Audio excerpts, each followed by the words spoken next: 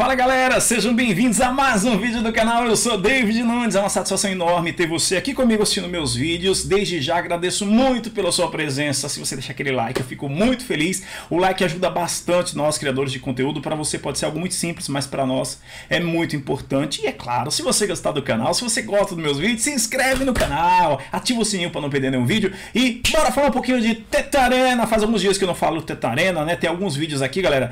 Antes de tudo, eu quero falar para vocês aqui dos vídeos como conectar a MetaMask, galera. Um dos erros mais comuns é o ID Chain, tá? O ID Chain ele dá muito erro nele, então o que que acontece? Eu sempre digo, copia e cola novamente, não deixa nenhum espaço em branco. Se você deixar espaço em branco vai dar erro, tá? Às vezes o ID56 também não funciona. Recorta e cola de novo, de preferência copia tudo, cola num bloco de notas, depois você vai lá copiando e vai colando para seguir o procedimento passo a passo. Se você joga no PC, tem um vídeo aqui em cima ensinando como logar a MetaMask pelo PC. Se você joga para o celular, o vídeo é outro. Tem um vídeo também aqui no canal ensinando como logar o MetaMask pelo celular, beleza? Não fica mandando uma pergunta, deu erro no ID, o que é que eu faço? Galera, não dá para me responder para todo mundo, infelizmente não dá. Já estou falando para você, deu erro, deleta, começa tudo de novo até dar certo. 99% consegue fazer, você também vai conseguir, tá bom? Bora falar um pouquinho de Teta Arena, galera. Teta Arena, com um pouco mais de 15 dias de lançamento, né? Esse que foi um dos NFTs mais hypado desse ano,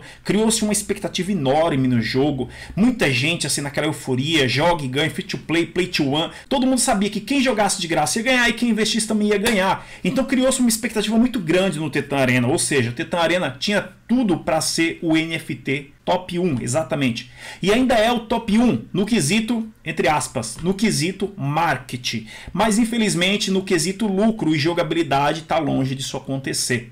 Eu não vou falar hoje quais são os top 1 em NFT do mercado, porque quem acompanha o meu canal sabe que eu estou sempre dando dicas. Inclusive hoje à noite eu vou soltar um outro vídeo falando do jogo hoje que é a sensação do momento. É o jogo que mais está dando rentabilidade para quem investiu, que de longe não é o Titarena, tá bom? Não é, infelizmente. Mas o Titarena, galera, era um projeto encorpado, um projeto promissor, um projeto grande. Mostrou-se todo um, um out paper de um projeto longínquo que tinha tudo para ser o top 1 em jogabilidade, diversão, em lucros. Tinha um conjunto nesse jogo, galera.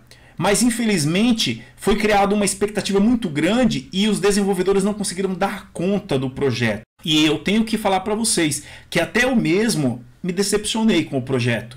Por quê? É, no beta, galera, para quem conheceu o Titan Arena agora, no lançamento, é uma coisa, mas o beta saiu lá em setembro. Lá em setembro, no comecinho de outubro, a gente já tinha aí o beta, muita gente jogando, e nós já tínhamos um milhão de jogadores no beta, galera. Um milhão de jogadores. Aí criou-se toda uma expectativa, toda uma vibe em volta desse jogo, tá? Um hype enorme assim. E aí os desenvolvedores lançam o jogo e já no começo, com um milhão de pessoas, o servidor cai, o ping não funciona. Pô, e fala assim, não, mas a gente não esperava. Como que não esperava, gente? O jogo já tinha um milhão de jogadores no beta. Vocês me lançam uma versão oficial e diz que não esperavam um número de jogador alto com todo esse marketing, todo esse paranauê que aconteceu. Inclusive nós, influência, divulgando o jogo porque a gente sabia que o projeto era um projeto bom. Não estou falando que o jogo está morto, galera. quero que vocês entendam.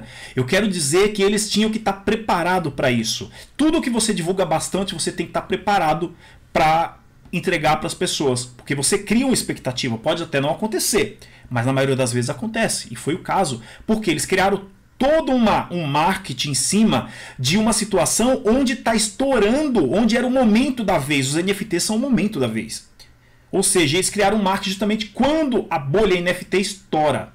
Então vocês tinham que estar preparado. Uma outra coisa, que ao meu ver, eles pisaram muito na bola e foi um tiro no pé. A forma de monetizar o pessoal que joga gratuito, free to play. O que, que acontece aí, meu amigo? Para você sacar, você precisa ter uma THG na sua conta. E detalhe, um número enorme de jogadores. Eu vou dizer para vocês assim, para ser mais exato, eu diria que 70% dos jogadores joga gratuito. E aí, como que essas pessoas que jogam gratuito com um celularzinho comum, um celular de entrada, vai ter ali 70 reais para comprar uma THG, 70, 80 reais para comprar uma THG para fazer o seu saque. Caraca, vocês deviam ter pensado. Então vamos fazer o seguinte: para o cara tirar essa THC, vamos descontar uma porcentagem dele, nem que seja 10% em vez de 3%, mas não colocar uma moeda onde o sujeito tem que ir lá arrumar dinheiro para comprar esse é o meu ponto de vista, galera. Não quero que vocês concordem comigo. Eu estou aqui dando a minha opinião, tá bom? Não estou queimando o jogo, eu estou falando a minha opinião. Afinal de contas, eu faço isso, eu não passo pano pra ninguém. Se é bom eu falo, se é ruim eu falo. O jogo não tá morto, o jogo tem muito futuro, mas essas são algumas das pisadas na bola dos desenvolvedores, tá? A última e não menos importante foi a última atualização que teve. A última atualização que teve, pessoas que têm um celular menos agressivo, menos potente, não conseguem mais baixar a última atualização, ou seja, estão fora do jogo. E aí, galera? E aí? O que falar disso? O que falar disso? Se você não quer esse público jogando, então fale no começo. Fala, olha, o jogo é um jogo pago, uma pequena porcentagem vai poder jogar gratuito e vai poder ganhar algum dinheiro. Mas para ganhar esse algum dinheiro na recompensa, você vai precisar fazer um pequeno investimento comprando uma moeda para poder sacar o seu ganho. Sejam claros. Eu acho que isso é muito importante. A comunidade agradece. Agora vocês divulgam que o jogo é gratuito, depois as pessoas começam a jogar, vocês vão gerando atualização em cima de atualização. É importante para melhorar o jogo? É mas não limar jogadores. Quem tem celulares mais fraquinhos ou celulares menos recentes ficam fora do jogo.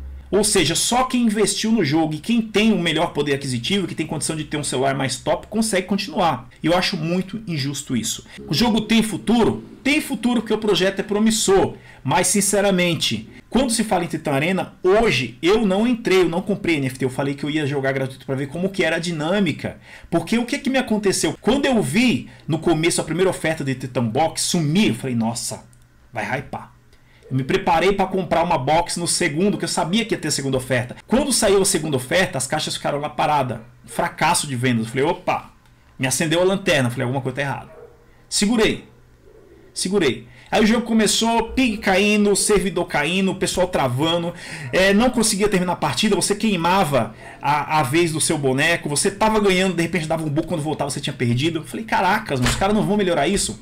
15 dias. Mas, David, 15 dias é pouco. Para um jogo com todo esse hype, sim, é pouco. Mas quando se fala de investimento e que você bota o personagem lá e cada vez que você perde uma partida ou a partida buga, você perde uma vida, você perde uma vez, você perde, você vai queimando o seu personagem. Isso conta, galera, isso conta.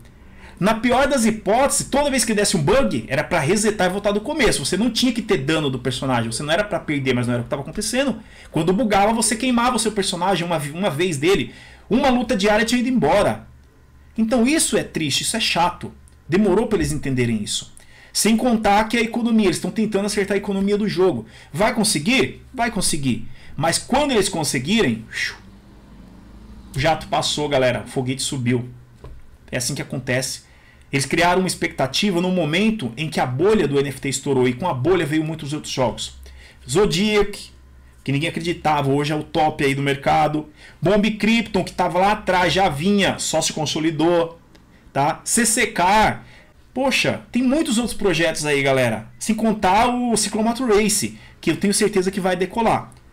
E o Tetan Arena patinando, patinando, patinando. Tem salvação? Tem salvação mas está longe de ser o top 1 dos NFTs. Essa é a minha opinião, tá bom? Se você discorda, fala aí. Se você também concorda, fala também. Gostou do vídeo, se inscreve no canal, participa. Se você é hater, veio aqui só para falar bobagem, some, nem precisa aparecer no vídeo, tá bom? Mas se você gosta, quer participar de forma democrática, quer debater, quer falar, tô aqui para te ouvir. Um forte abraço, até o próximo vídeo, se Deus quiser. Fui!